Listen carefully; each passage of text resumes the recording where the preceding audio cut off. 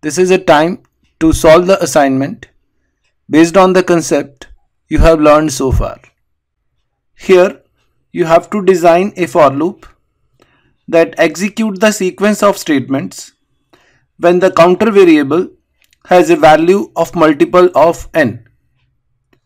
Or in simple words, design a for loop that has a jump value of n. For example, you need to design a for loop that execute its statements if counter value is 5, 10, 15, 20 or 25 and so on.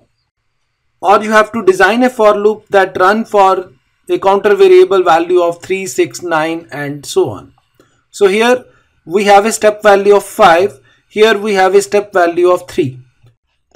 You are requested to write the code for this task.